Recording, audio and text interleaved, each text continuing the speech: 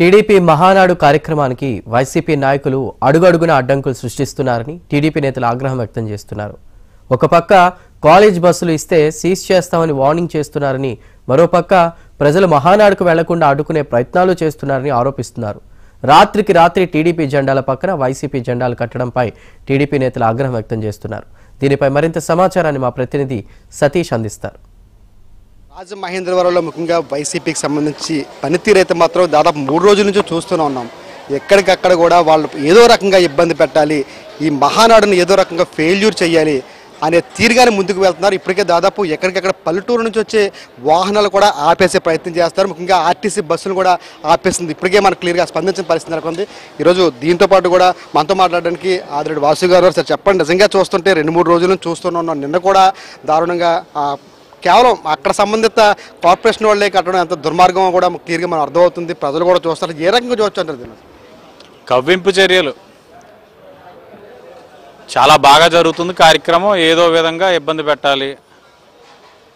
ఆ ఇబ్బంది పెట్టింది పైకి తీసుకెళ్ళి వాళ్ళ నాయకుడికి చూపించుకొని ఏదైనా పాయింట్లు కొట్టాలి. ఇదే ఆలోచన అంతేగాని కొన్ని సాంప్రదాయాలు ఉన్నాయి రాజకీయంగా. కొన్ని పద్ధతులు ఉంటాయన్నది మర్చిపోతూ ఉన్నారు. మేము గ్రహించాం. ఎందుకంటే అమరావతి పాదయాత్ర అప్పుడు కూడా ఇదే జరిగింది. మీరు ఆలోచించండి ఒక్కసారి ప్రజలు కూడా మీడియా వారు కూడా అమరావతి పాదయాత్ర కూడా ఇదే రీతిలో జరిగింది. అదే దారిలో చేస్తారని ఊహించే మేము మా నాయకులు రాత్రిపూటలు కూడా మేము కట్టినవన్నీ కూడా రక్షించుకునే కార్యక్రమం చేసాం ఉదయం రెండింటికి ఎంత ఆశ్చర్యం అండి. మున్సిపల్ కార్పొరేషన్ వెహికల్ అధికార పార్టీ వాళ్ళు ఫ్లెక్స్లు కడుతున్నారా? ఏంటి అని అడిగితే స్పష్టంగా చెప్తా ఉన్నారు. మా అధికారులు చెప్పారు ఫ్లెక్స్లు ఉన్నాయంటే ఎంపీ ఆఫీస్ నుంచి కబురు వచ్చింది మేము కట్టడానికి వచ్చామని చెప్తా ఉన్నారు.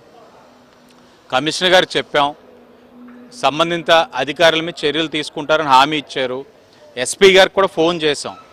ఇలాంటి కవింపు చర్యలు చేసి కార్యక్రమాన్ని ఏదోలాగా ఇబ్బంది పెట్టాలని అనుకుంటే మరి మేమైతే మాకైతే హుందాగా వ్యవహరించాలని ఆలోచన ఉంటుంది. మరి కార్యకర్తలు అయితే మరి ఊరుకోరు. చాలా లా అండ్ ఆర్డర్ ఇష్యూస్ వస్తాయంటే ఎస్పీ గారు కూడా చాలా పెద్దరికంగా ఎవ్వరు తప్పు చేసినా ఉపేక్షించేది లేదు. మాకు అంతా కూడా రికార్డెడ్గా ఇవ్వండి అన్నారు. మా నాయకులు కూడా వెళ్ళి ఎస్పీ గారు రిప్రజెంటేషన్ ఇచ్చాం ఇప్పటికైనా మానుకోండి. మీరు కార్యక్రమం జరుగుతూ ఉంటే మీరు పోటీతత్వంతో ఇంకా చేయాలనుకుంటే దీనికన్నా పెద్ద కార్యక్రమం చేయాలి కానీ మేమేదో మంచి కార్యక్రమం చేస్తూ ఉంటే దానికి అడ్డపడడానికి మా తోరణాలు మేము మీ తోరణాలు కట్టేయడం మేము వేసిన హోర్డింగ్స్ మీద మీరు హోర్డింగ్ వేసేయడం వల్ల ఏం లాభం చేకూరుతుంది మాకు అర్థం కావట్లా. ఇలాంటి దుశ్చర్యలు కానీ ఇలాంటి చిల్లర రాజకీయాలు అయితే మాత్రం టీడీపీ పరంగా మేము ఏనాడు కూడా చేయలే. ఏనాడు చేసిన దాఖలాలు కూడా లేవు. మరి వీళ్ళకి ఆలోచనలు ఎందుకు వస్తున్నాయి అన్నది మాకు అసలు అర్థం కావట్లేదు. మంచి సాంప్రదాయం కాదు ఆపుకుంటే మంచిది లేకపోతే సహనానికి కూడా లిమిట్ ఉంటుంది. అంటే దీని ముందు ఒంగోలు ఏదైతే మహానాడు జరిగిందో సక్సెస్ అయింది. అంటే ఇప్పుడు ఎలక్షన్ బేస్ చేసుకుని వస్తున్న మహానాడు ఇది. కేవలం ఇది ఒక అధికార పక్షం భయపడే ఇటువంటి అన్నీ చేస్తుందంటారా? ముమ్మాటికి ఒక అభద్రతా భావంతో చేస్తున్నారు. ప్రజల నాడి ఏంటన్నది వాళ్ళకి ఇప్పటికే తెలిసింది. తెలుగుదేశం పార్టీ అధికారంలోకి రాబోతా ఉంది. కాబట్టి ఒక మంచి కార్యక్రమం చేస్తున్నప్పుడు ఏదో విధంగా అడ్డపడదాం ఏదో విధంగా ఆనందం. సునకానందం అంటారు కదా అంతే. స్పష్టంగా కనబడతా ఉంది. పల్లెటూరు కాదంటే ముఖ్యంగా చుట్టుపక్కల గ్రామాలు ఏవైతే ఉన్నాయో అక్కడ సంబంధిత తెలుగుదేశం నాయకులు కావచ్చు అక్కడ ప్రజలు రావడానికి చాలా వరకు కొంతవరకు ఏదైతే బస్సులు కావచ్చు లేదంటే అక్కడ కార్లు కావచ్చు కనీసం ట్రాక్టర్స్ కావచ్చు ఏదో ఒకటి పట్టుకుని వచ్చి ఏర్పాట్లో ఎక్కడికక్కడ చేస్తారు. కానీ అవి కూడా అక్కడున్న లోకల్ నాయకులతో అడ్డు పెట్టి ఆపించే ప్రయత్నాలు ప్రతి చోట జరుగుతున్నాయి. అసలు ఇప్పుడు ఎవరిని రాయకుండా చూడాలనే బాధ్యత కంకణం కట్టుకున్నట్టు కనిపిస్తుంది. ఏమంటారు? ఇప్పుడు ఒంగోలు కూడా మీరు చూశారు. అప్పుడు సభలు పెట్టి హైవేలు అమ్మట హైవేలను బ్లాక్ చేసే కార్యక్రమం చేశారు. సాక్షాత్ మంత్రులే దీపారు ఆ కార్యక్రమంలో. ఇప్పుడు కూడా కాలేజీల నుంచి బస్సులు ఇవ్వనివ్వట్ల. వాళ్ళకి కేసులు కడతారని చెప్పి థ్రెటనింగ్ కాల్స్ వస్తూ ఉన్నాయి. ఆర్టీసీ వారికి బస్సులు ఇవ్వమని చెప్పి ఇప్పుడు దాకా రిక్వెస్ట్ పెడితే స్పందించిన దాఖలాలు లేవు. ప్రైవేట్ బస్సులు చూసుకుంటా ఉన్నాం ఆటోలు చూసుకుంటా ఉన్నాం ట్రాక్టర్లు మాట్లాడుకుంటా ఉన్నాం.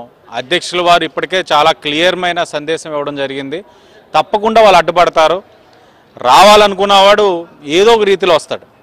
ఈ రోజున ప్రజలు స్వచ్ఛందంగా రావడానికి సిద్ధపడ్డారు. వీళ్ళు ఎన్ని అడ్డంకులు పెట్టినా కాలినడక మీదైనా సరే ఇక్కడికి రావడానికి సిద్ధంగా ఉన్నారు కాబట్టి వీరు ఏదో బస్సులు ఆపితే జనాలు రారనుకుంటే వీళ్ళు మూర్ఖత్వం.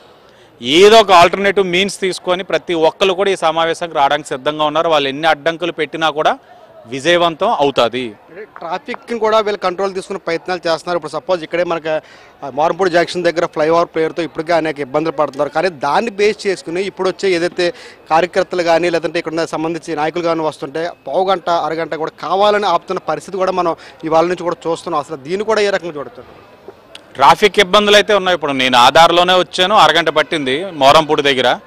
ఎస్పీ గారికి అది కూడా చెప్పాం. నమ్మకం ఉంది.